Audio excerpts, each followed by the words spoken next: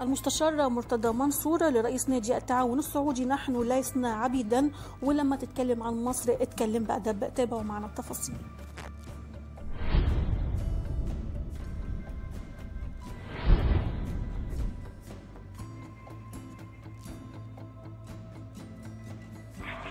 انت غيرت واحد بالفلوس.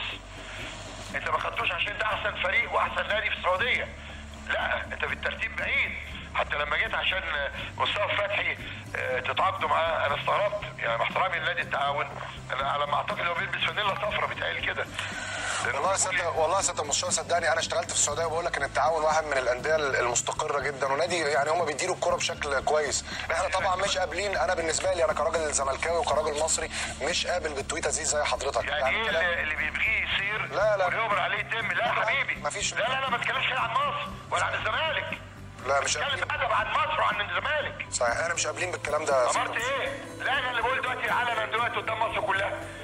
بخاطب سمو الأمير محمد بن سلمان هذا الرجل المحترم المتحضر اللي بيشتغل لبلده ونقلها نقله تانية خالص. هل يرضيك إنك عندك مواطن اسمه محمد القاسم؟ ايا كان.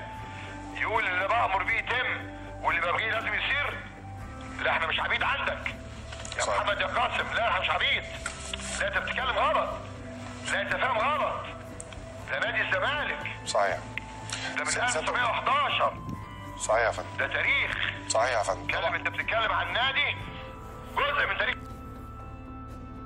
حيث وجه مرتضى منصور مجموعة من الرسائل بعد رحيل باتريس بشكل رسمي إلى التعاون السعودي. أعرب منصور عن ثقته أن تركي آل الشيخ لا علاقة له بانتقال المدرب الفرنسي للفريق السعودي. المدرب الفرنسي لما يرحل من الباب الصغير لكن نط من البلكونة.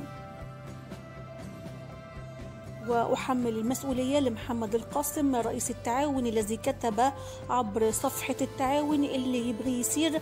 عفوا أنت لا تعلم قيمة مصر عندما تتحدث عن الزمالك. تحدث بأدب ووجه رسالة مباشرة لرئيس نادي التعاون وقال إنك لما تحصل على المدرب الفرنسي لأنك الأفضل ولكن أغريته بالفلوس. ومع احترامي للتعاون كل معلوماتي عنه إنه يرتدي قميص أصفر. وأخاطب سمو الأمير محمد بن سلمان هل يرجيك أن يتحدث مواطن لديك اسمه محمد القاسم؟ يقول ذلك فنحن لسنا عبيد الزمالك تاريخ من عام 1911 وقال المستشار مرتضى منصور دائما نحافظ على علاقاتنا مع السعودية وبيننا وبينهم نسب ومصاهرة ما قاله رئيس التعاون غير مقبول أنت خطفت مدرب مرتزق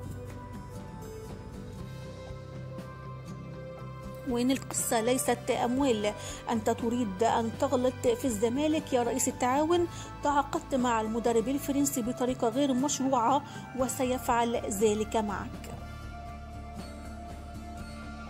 حيث غرد رئيس نادي التعاون القاسم عبر حسابه الشخصي بموقع التواصل الاجتماعي عبر تويتر وقال هذا التعاون يا سادة اللي يبغي يصير واللي يؤمر أو أأمر عليه يتم.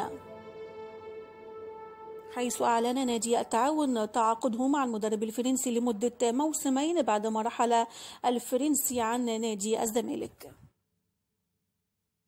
ووجه رسالة مباشرة لرئيس نادي التعاون وقال له أنت فاهم غلط لما تتكلم عن مصر تتكلم بأدب أنت بتلعب بالنار إن الزمالك نادي كبير.